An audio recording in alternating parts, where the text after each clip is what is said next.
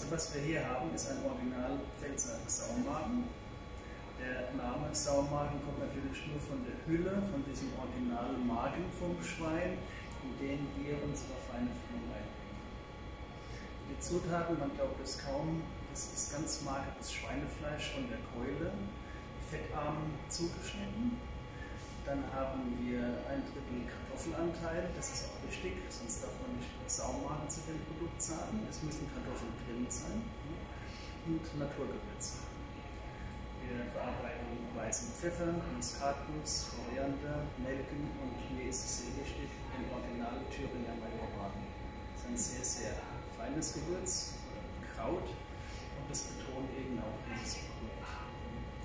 Wir haben einen Fettanteil im Saumagen, der deutlich unter 5% liegt.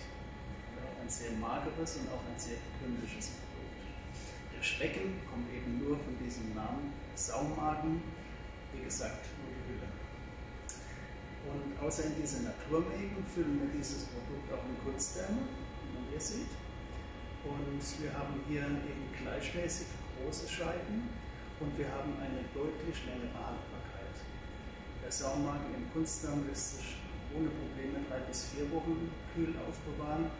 Der Saumagen im Naturmagen beginnt spätestens nach acht bis zehn Tagen mit der Verderbnis. Das ist eben ein Naturprodukt und in dem äh, Kunstmagen ist auch kein Konservierungsstoffe oder irgendwas drin, ist einfach nur, weil es dichter abgeschlossen genau. ist. Genau. Es ist wie sterilisiert quasi, eine sterile Haut, da kann von außen nichts passieren. Hier beginnen Fäulnisbakterien den Magen irgendwann zu zersetzen, der verdirbt von außen und hier beginnt irgendwann das Produkt innen drin zu verderben. Das ist aber ein viel längerer Prozess, wie eben so ein empfindlicher Naturmagen. Diese drei Knubbel auf dem Magen, ich gehe noch mal ein bisschen näher ran als äh, anatomischer Laie, das sind jetzt die Ausgänge, die ganz normalen, natürlichen Magenausgänge, ja? Hochinteressant, äh, fast. Und zwar haben wir hier in der Mitte der Eingang von der Speiseröhre. Hier haben wir den Ausgang zum Dünndarm mit dem sogenannten Pförtner, dem Schließmuskel.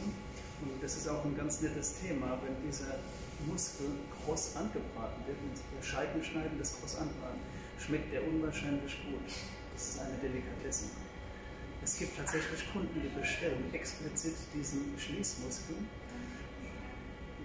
auch wunderbar mitessen kann. Also man muss diese Haut, diese Magenwand, ist ja ein Muskel, muss man nicht wegwerfen, den kann man wunderbar mitessen. Das heißt, wenn ich das brate jetzt im Restaurant, die, auf jeden Fall die Haut dran lassen, dann kann der Gast selber entscheiden, ob er es probieren genau. möchte. Ja, Mhm. ich Okay. es probieren. Und jetzt kommt eben drei Einausgänge. Wir haben hier noch einen künstlichen Ausgang bzw. Eingang. Dieser Ausgang oder dieser Schnitt wird im Schlachthof gemacht, gleich nach dem Schlachten, wenn der Magen herausgeschnitten wird. Und dann wird mit, diesem, mit dieser künstlichen Öffnung der restliche Mageninhalt herausgepresst. Und mit dieser Öffnung wird der Magen einmal komplett umgewendet. Das heißt, alles, was Sie im Moment hier sehen, war früher die Innenseite. Und wir füllen in diese reine, saubere Seite von der Bauchhöhle. Das ist eine ganz stabile Angelegenheit. Und dann brauchen wir diese große Öffnung auch zum Füllen des Magens. Weil einen Ausgang ist maximal fingerdicke Stärke, da können Sie die großen Fleischstücke gar nicht reinfüllen. Und hier wird er gefüllt und später dann auch zugeknotet. Daher hat er drei Knüppel und das sieht auch schön aus. ja, und jeder wundert sich einen Ausgang, was macht der dritte? Ja, und das ist die traditionelle Art und Weise. Das ist die traditionelle, genau.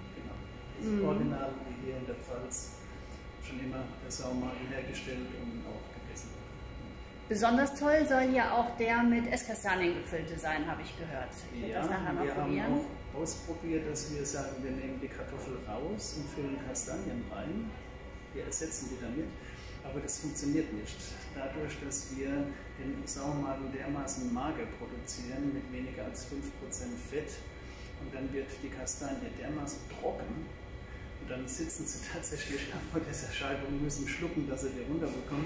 Und wir machen das mittlerweile so, dass wir die klassische Füllung nehmen mit den Kartoffeln mit drin und machen nochmal 20% Kastanien dazu.